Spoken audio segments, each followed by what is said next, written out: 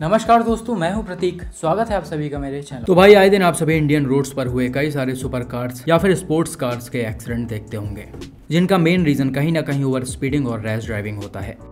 हालाँकि ये चीज़ें सिर्फ़ इंडिया में ही नहीं, बल्कि हर जगह होती हैं। और इसका रीजन मैंने आपको पहले भी बताया था कि इन गाड़ियों में नॉर्मल कार्स के मुकाबले कहीं ज़्यादा पावर होता है, और ये जहाँ से निकलती हैं, सबका ध्यान खींच लेती हैं। इसलिए लोग इससे और भी ज़्यादा हवाबाजियाँ करते रहते हैं। हालाँकि इन हवाबाजियों के चक्कर में कभी कभी चीज़ें ओवर हो जाती हैं जिसमें कहीं ना कहीं सामने वालों का बिना वजह नुकसान हो जाता है। और ऐसा ही कुछ आप आज के इस एक्सीडेंट में भी देखेंगे जिसे कई सारे न्यूज़ चैनल्स ने शेयर किया है। अगर आपके पास भी किसी एक्सीडेंट का फ़ोटो या वीडियो है तो प्लीज़ सारी डिटेल्स के साथ मेरे ईमेल, फेसबुक या फिर इंस्टाग्राम पेज पर शेयर करें। यह एक्सीडेंट रिसेंटली लंबोर्गिनी उरुस और स्मार्ट इलेक्ट्रिक कार के बीच इटली में हुआ है। रिपोर्ट के मुताबिक चार पाँच यंगस्टर्स, जिनकी एज 20-22 साल के आसपास थी, वो सभी लंबोर्गिनी एसयूवी से रोम के पास से होते हुए जा रहे थे। तभी एक टर्न पर उनकी एसयूवी ने अनकंट्रोल होकर इस स्मार्ट कार को हिट कर दिया। बताया जा रहा है कि लंबोर्गिनी में बैठे लोग यूट्यूबर्स हैं और इनके चैनल का नाम द बॉर्डर लाइन है। करंटली इस चैनल पर 6 लाख प्लस सब्सक्राइबर्स हैं। ये लोग बेसिकली चैलेंज टाइप वीडियोस बनाते हैं, जैसा आपने मिस्टर बीस्ट के वीडियोस में देखा होगा, या इंडिया में फुकरा इंसान के वीडियोस में देखा होगा।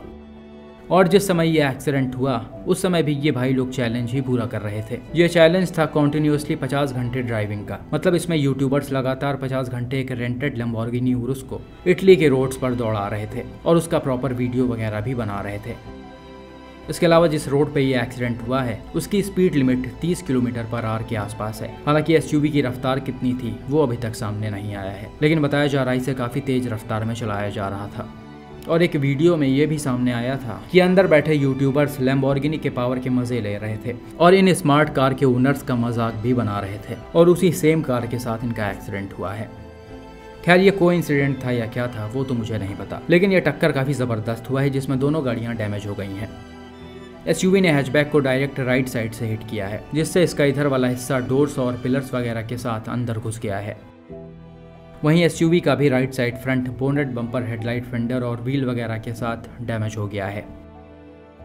बात करें पैसेंजर्स की तो अनफॉर्चुनेटली स्मार्ट कार में बैठे पाँच साल के एक बच्चे की इसमें डेथ हो गई, जबकि दो लोगों को इंजरीज आई हैं। वहीं एसयूवी के लोग बिल्कुल सेफ़ थे।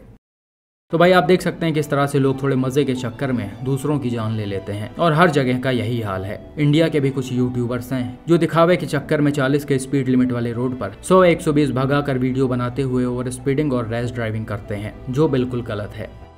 इटालियन गवर्नमेंट इस भयानक एक्सीडेंट के बाद एक नया लॉ बनाने का सोच रही है, जिसमें इस तरह की गलत एक्टिविटीज़ करके ऑडियंस को दिखाने से यूट्यूबर या फिर जो भी ऐसा करेगा, उसे पाँच साल तक की सजा हो सकती है। और इन भाई साहब से शायद इसकी शुरुआत भी हो जाए। खैर, आपको क्या लगता है इस एक्सीडेंट पर? और क्या इस तरह का लॉ इंडिया में भी होना चाहिए, ताकि लोग सोशल मीडिया पर नियम कानून को तोड़कर और गलत हरकतें करके बच ना पाए? कमेंट में बताइए।